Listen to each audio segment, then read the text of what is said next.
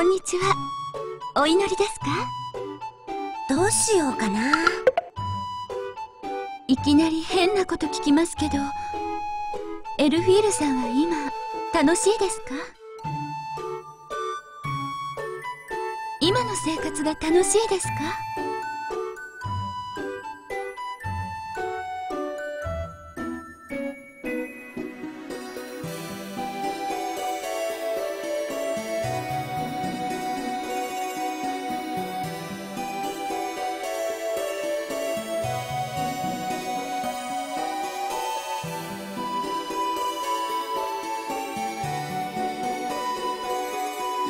そう。私はあまり楽しくないんです。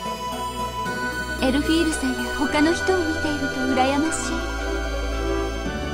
私この教会から外にほとんど出たことがなくていつもお祈りとか病人の看病とかばかりで一日が終わるんです。お祈りも看病も嫌いではないんですけど毎日ずっと同じことをしている。じゃあ外に行こうよ。外に出たことがないなんて変だよ。そうですよね。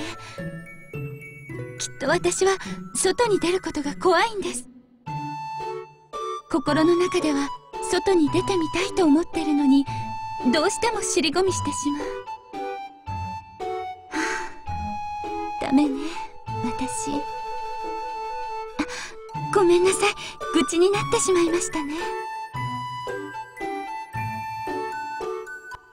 どこに行こうかな？こんにちは。お祈りですか？どうしようかな？大丈夫ですか？エルフィールさん。最近怪我が絶えないような気がするのですが。最近は遠くの方まで採取作業に行くことが増えちゃって。でもいい傷薬があれば助かるんだけどねそういえば私アルテナの名が使われている。とてもよく効く薬があると聞いたことがあります。アルテナ様の名前が使われるくらい？アルテナの水じゃなくて？はい。塗り薬らしいですよ。聞いたことないな。後で調べてみよう